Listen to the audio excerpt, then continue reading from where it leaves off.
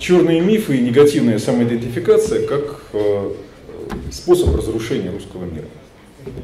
У меня в руках такое интересное исследование, э, которое провела компания Крибрум, это один из крупнейших IT-центров в стране, вместе с Итартасом.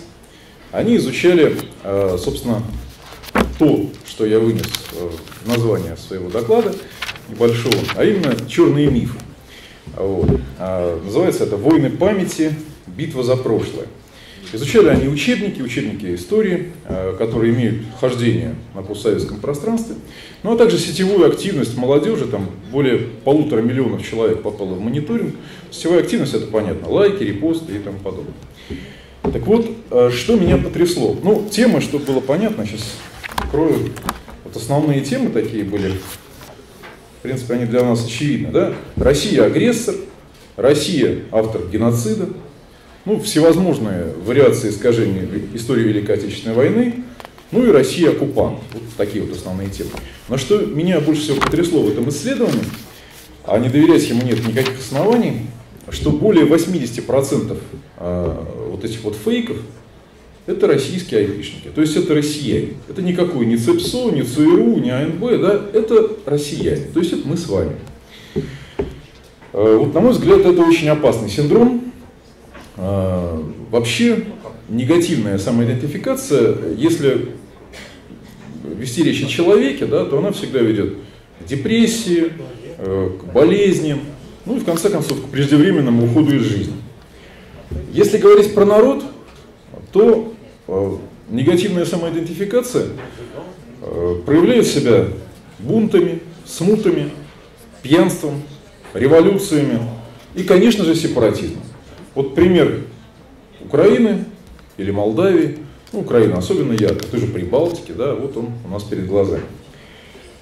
Вот давайте попробуем разобраться, откуда все берется. Потому что, например, в Соединенных Штатах Америки которые, между прочим, э, устроили геноцид коренного населения, то есть индейцев, и только за последние там, 70 лет устроили более 50 войн в мире э, и огромное количество цветных революций, погубив, отправив на тот свет десятки миллионов человек, в основном мирных жителей.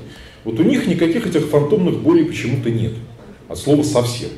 Они себя считают патриотами поголовно и совершенно искренне. Да? То же самое, кстати, с европейцами.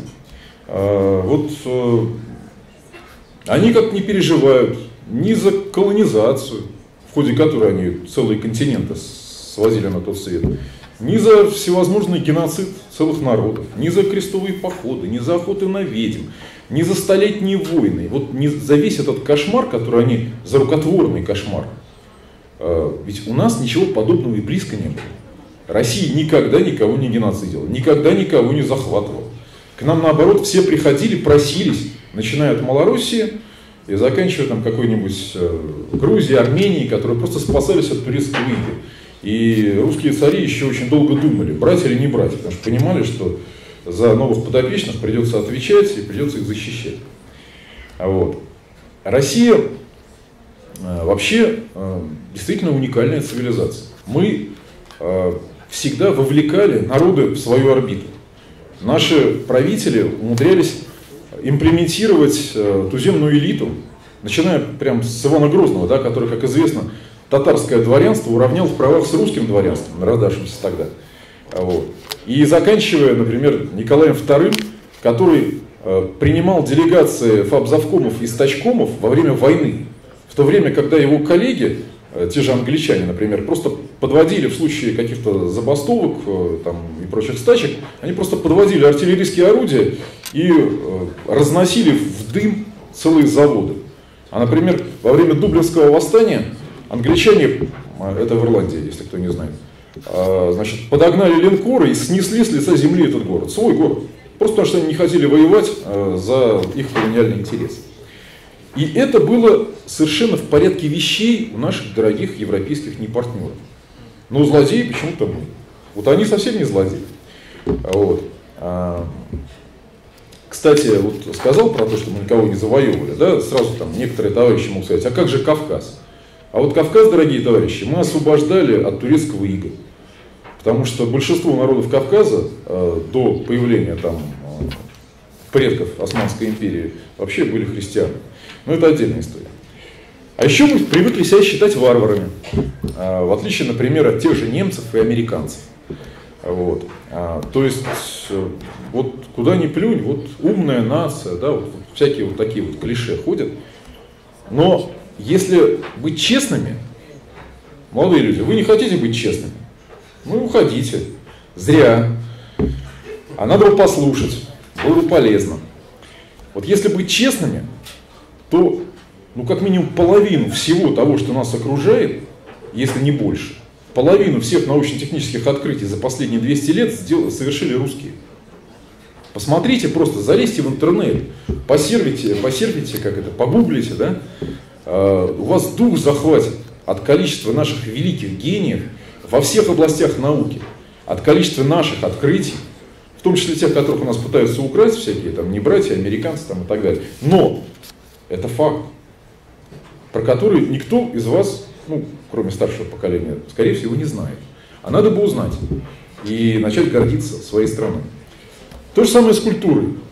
Россия создала абсолютно уникальную, величайшую культуру, величайшую в мире литературу. Ничего рядом с нашим Достоевским, например, нет. Э, величайшую музыку, э, оригинальную школу театра, который, в принципе, э, Европа пришла уже после Станиславского и Немировича Данченко, да, после нашего великого балета. Оригинальную живопись, да, уникальную архитектуру. Знаете, когда ходишь по Парижу, мне в прошлой жизни приходилось достаточно много бывать за рубежом, и вот когда ходишь по Парижу, удивляешься, что вот они там какие-то все немножко недоразвитые. Вот у них Монферран построил что-то маленькое, а у нас Исаакиевский собор. Вот у нас они разворачивались, даже иностранцы на русской земле расцветали. Вот. Самое красивое место в Париже, знаете какое?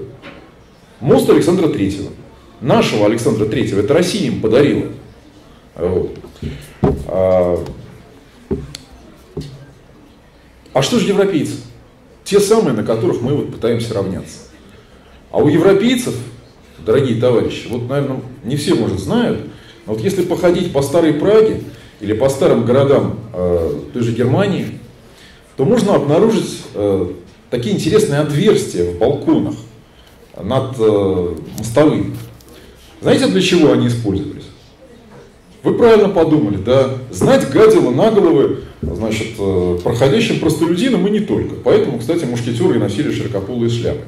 Вот, чтобы, собственно, не очень страдать от этих Э, значит, проявлений гуманизма. Вот. Э, кстати, немцы до сих пор моются всей семьей в одной ванной, вот если вам не меняя воду. Да? И вообще про баню они узнали благодаря русским. Вот. У них там такая вонь была в Лувре, что из-за этой вони пришлось строить Версаль, потому что ну, невозможно было хоть святых выносить. Да? Пришлось вот королевский двор переносить подальше. Вот. И вообще у них там главное изобретение, значит, вот парфюмерия, там, чесалки для блох, Э, всевозможные э, эти самые, э, да, духи. Вот. То есть, на самом деле, вот отсюда у них и эпидемии. В России же не было эпидемий таких. Они там вымирали. Что не эпидемия, Европа сразу на треть вымирает. Почему? Потому что не мылись, потому что засранцы были. А мы на них равняемся, понимаете? Вот. То есть, вот если на таком сухом остатке, русские это самый талантливый в мире народ который еще и другим дает развиваться. Вот кто бы ни оказался на нашей территории, они все здесь расцветают. Вот. А у себя там как-то, ну, так, постольку поскольку. И при этом мы себя считаем хуже других. Ну, конечно, есть объективные тому причины. А, в некотором смысле это часть нашего православного архетипа, вот, на котором, собственно, паразитирует Запад. Ну, потому что православный человек, вообще христианин, он исходит из того, что все мы люди грешные, надо каяться. Вот, поэтому, собственно, мы и каемся. Ну, а Запад не кается. И просто паразитирует. Вот. А, и вот теперь, собственно, мы закончим с такой шутливой формой, перейдем к более серьезным вещам, но, надеюсь, а, вы уже готовы их воспринимать. Я имею в виду, конечно, молодежь. Значит, я просто приведу один маленький пример использования вот этой негативной самоидентификации и вот, этих вот, вот этой вот черной мифологии. А, это создание э, псевдоисторических национальных конструктов. Вещь-то совершенно не безобидная. А, вот, ну, собственно, можно проиллюстрировать примером Украины, которая, как известно, свою государственность получила от Ленина. Вот. И, в общем, не было никогда в истории такого государства. То есть абсолютно фейковая государственность, или там тот же Казахстан, который появился в 1936 году, до этого был Казахстан. Или вот какие-нибудь там э, прибалтийские недогосударства, там, Латвия, Эстония. И у них не было никогда в истории государственности. Это все спасибо советской власти. Да? Вот. Э, все города, которые там были, построили либо русские, либо немцы. Э, но, тем не менее, как э, как происходит внедрение вот этих вот исторических, точнее псевдоисторических конструктов. Во-первых, конечно, через учебники истории. Ну, про учебники, про украинские учебники истории, наверное, все слышали. Вот. Вот. У меня есть такое хобби, когда мы ездим с гуманитарными миссиями на Донбасс, я привожу всякие учебники, правда, я не читаю по-украински, вот, но иногда диву даешься. Конечно, то, про что говорят, про этих э, щирых укров, которые ископали Черное море, я такого не видел, честно. Вот. Но э, учебники это всегда продукт очень умной, тонкой пропаганды. Да? Они присваивают себе наших героев, наших изобретателей. Вот проехал, не знаю, какой-нибудь э, Сергей Королев мимо Украины, вот они вот тут же украинцы записали и так далее. Вот. А если Россия упоминается, то только в негативной коннотации. Вот как захватчица, как вот чего-то там э, насильница и так далее. А если это учебник русского языка, могу проиллюстрировать, ну, просто не готовился, не успел подготовиться к презентации, хотя есть фотографии. А, значит, ну, поверьте на слово, можем выложить где-нибудь потом, может, на Катюше. А, значит, вот они просто приводят русское написание слова, не говоря, что это русское. Хотя, ну, понятно, что 80% населения бывшего СССР говорит по-русски. Вот.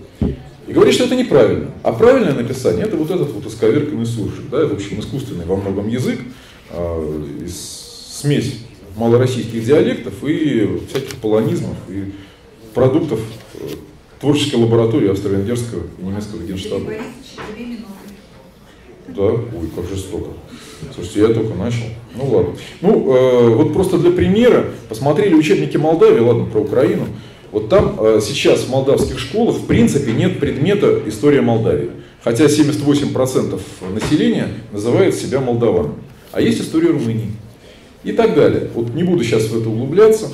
Э, могу единственное сказать, чтобы закончить про учебники, э, что вот, например, в Абхазии, которая ну, существует за счет России, что там греха таить, э, все учебники, которые, кстати, издания, которые финансирует Россия, э, делает дедушка Сорос.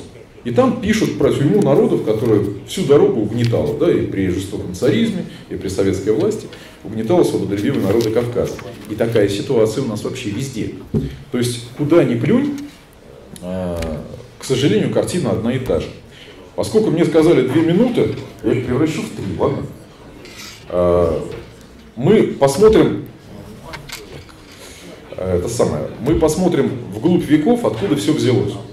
И обнаружим 16 век, время Ивана Грозного, когда Россия оформилась как полноценная, а, полноценный центр мира, полноценная держава, конкурент коллективному Западу, тогдашнему Евросоюзу, когда мы э, присоединили Сибирь, разобрались со всякими новгородскими и прочими сепаратистами, там Казанские, Астраханские ханства, то есть все эти осколки Золотой Орды. Ну и, собственно, заявили о том, э, заявили, сделали заявку на выход э, к Балтийскому морю, Ливонская война, да? Вот. Ну, собственно, тут же появились всякие предатели, вроде князя Курбского, тут же появился миф про Иоанна Террибл, да, Террибл ужасный по-английски, а у нас Грозный, значение совершенно другое. Вот. Грозный, казни, который казнил свою жизнь там, э, за более чем 30-летнее царствование, казнил там 3,5 тысячи человек, он, конечно, Террибл по сравнению с каким-нибудь э, Варфоломеевской ночи, где за одну ночь вырезали 70 тысяч гугенотов, вот, или английскими э, королями, которые там за царствование казнили сотнями тысяч, там, по 3% населения казнили в среднем за царствование, да, там, Генриха VIII там, и так далее, современники все Ивана Грозного. Но они все белые пушистые, они все, значит, в шоколаде, а Иван Грозный, конечно, террибл. Вот. Началось с этого. Потом вот эти исторические мифы, они э, развивались, каждом царствовании. Но пока власть была русская и опиралась все-таки на русские смыслы, то есть на православие, ну, ситуация как-то еще более-менее удерживалась. Чем больше преобладал инородческий и иноверческий элемент в управлении, тем все становилось хуже. И чем меньше веры было в нашей элите, тем больше было всякой дури, да, всяких разных э, идей, отвлеченных. В результате, э, собственно, мы остались без защиты. И получили революции и крушение, э, собственно, крушение страны два раза в течение одного века. И э, надо сказать, что то, что начато было еще во времена Ивана Грозного, то есть вот эта вот э, активная информационная кампания по дефамации, да, по мифологизации, черной мифологизации России, создание имиджа вот такой варварского центра, варварской страны, вот, жестокого варварского центра, да, оно имеет место до сих пор, только оно вышло на совершенно другую, другой уровень. Э, может быть, не все знают, но в Соединенных Штатах есть не только ЦРУ и ФБР, а есть такая разведка АНБ, бюджет которой сопоставим с бюджетом Пентагона. И вот эта вот структура целенаправленно занимается исключительно одним делом – поддержанием имиджа Америки за рубежом и продвижением ее, ну, как бы ценностей. Вот. То есть то, что мы сейчас наблюдаем, вот это вот, э, вот это вот умильное все, всеобщий патриотизм американцев, да, это результат банальной манипуляции, банальной работы вот этих вот служб, многолетней, очень качественной, грамотной. Э, в эту инфраструктуру вовлечены сотни мощнейших институтов, сумасшедших финансирования, специалистов, разный профиль. У нас ничего подобного нет. Поскольку у нас то одну идеологию пытаемся на себя примерить, то другую. Вот. Сейчас вообще элита там не пойми как сформирована, да? Я его слепил из того, что было. Вот. Сейчас у нас очень тяжелая ситуация. Поэтому э, у нас никаких аналогов АНБ нет. У нас есть только управление внутренней политики администрации президента, которое нам э, пытается э, значит, применить какие-то технократические приемы. Ну, например, как рассуждает условный чиновник из администрации президента. Он говорит, что вот есть какой-нибудь иноагент Моргенштерн. Да, козел, да, сатанист, да, там, э, там три шестерки на лбу, да, да, там наркоманы пропагандируют всякую ересь. Но вот у него 11 миллионов подписчиков на Ютубе. Поэтому они пишут докладную записку, что вот смотрите, 11 миллионов подписчиков. Мы сейчас этого Моргенштерна вербанем, и он нам приведет, значит, 11 э, миллионов э, не очень думающих молодых людей на выборы. Но это абсолютная манипуляция. Э, к сожалению, вот если мы не вернем русские смыслы, наши православные смыслы, наши исконные смыслы в нашу деятельность, деятельность нашей власти, жизнедеятельность нашей власти, то участь наша печальна. Вот это вот отсутствие понимания собственных целей, оно, к сожалению, обесмысливает все наши жертвы и отдаляет нашу победу. Хотя в последнее время есть какие-то робкие такие признаки того, что верховная власть, ну, в лице президента что-то начала понимать, принят там указ о защите традиционных духовно-нравственных ценностей, там еще ряд нормативных актов, э, и как законодательных, так и подзаконных актов, да, про них уже нет, нет времени поговорить, когда-нибудь в другой раз.